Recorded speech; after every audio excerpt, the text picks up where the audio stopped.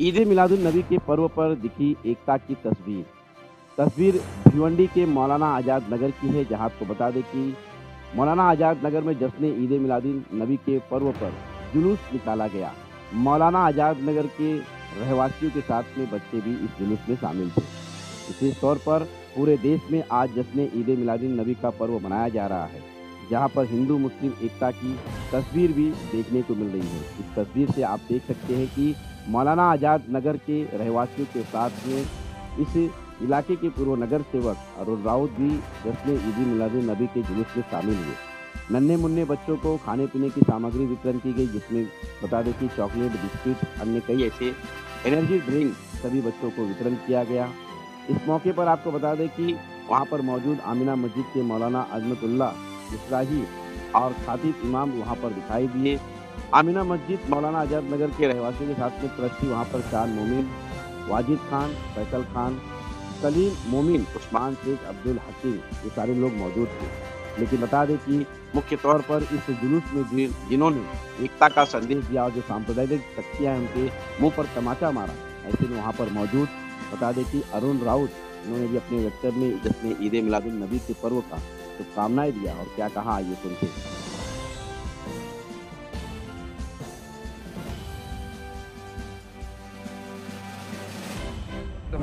मुस्लिम भाइयों को ये आज ईद मिलाद नबी की हार्दिक शुभकामनाएँ देता हूँ। साथ ही साथ में अभी ये जो मौलाना नगर के सलीम भाई है, चाँद भाई, इनका जो आज जुलूस निकाला, उसमें हर बच्चे को एक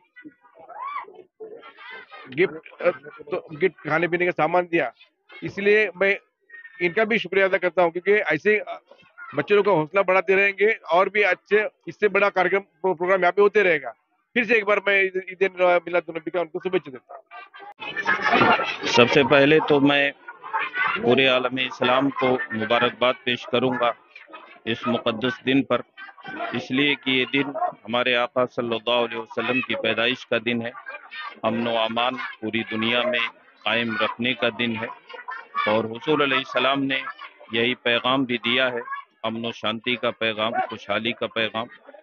आज उनकी विलादत का दिन है, आज उनका बर्थडे है, जिसकी खुशी में मौलाना आज़ाद नगर के अवाम ने, यहाँ के नौजवानों ने ये जुलूस अपने मोहल्ले ही में निकाला है और इससे हम एक पैगाम, मोहब्बत का पैगाम और अमन का पैगाम अपने तमाम भाइयों को और तमाम बिरादरान वतन को देना चाहते हैं कि हमें इसी तरीके से आपस में मिलजुल कर एक दूसरे के साथ मोहब्बत का बर्ताव करके अपनी ज़िंदगी गुजारना चाहिए।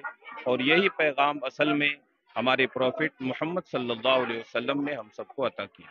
यहाँ पर जो एकता की तस्वीर देखने को मिल रही है पर क्या कहना चाहिए जी। एकता की जो तस्वीर देखने को मिल रही है दरअसल हमारा ये मोहल्ला भिवंडी का बिल्कुल अलग थलग मोहल्ला है। एक लंबे टाइम से यहाँ अरुण रावत साहब अपना काम अंजाम देते हैं और हमने हमेशा यही देखा है कि किसी का दुख दर्द हो गम हो या खुशी का टाइम हो वो हर फ़ंक्शन में शरीक होते हैं।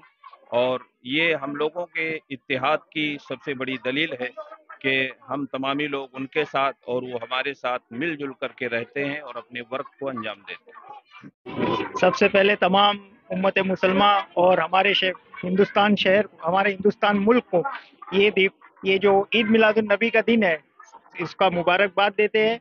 ये असल में ये दिन वर्ल्ड पीस डे के हिसाब से मनाना जाए मनाना चाहिए, क्योंकि ये जो शांति का पैगाम हमारे आप हुजूर नबी करीम वसल्लम ने दिया है कि तमाम मज़हब के लोग, तमाम दुनिया वाले लोग को एक बहुत बड़ा पैगाम है कि कैस, किस तरह दुनिया में रहा जाए अमन शांति के साथ। अरुण राव साहब का ये कहना ये मतलब उनके बारे में तो क्या कहे? ये मिसाल है पूरे हमारे भिंडी शहर में कि हमारा कोऑपरेटर एक ऐसा है जो कभी भी जात, धर्म ये सबसे ऊपर उठ के सोचता है। और कभी भी कोई भी इनके कोई काम लेके जाए, चाहे हिंदू हो, चाहे मुसलमान हो या कोई भी जात धर्म का, वो जात धर्म का नहीं देखते, ये पहले काम की तरफ़, अपना पूरा काम की तरफ़ ध्यान देते हैं। यही वजह है कि आज जो आप, उनको प्यार, मोहब्बत मिल रही है मोहल्ले में।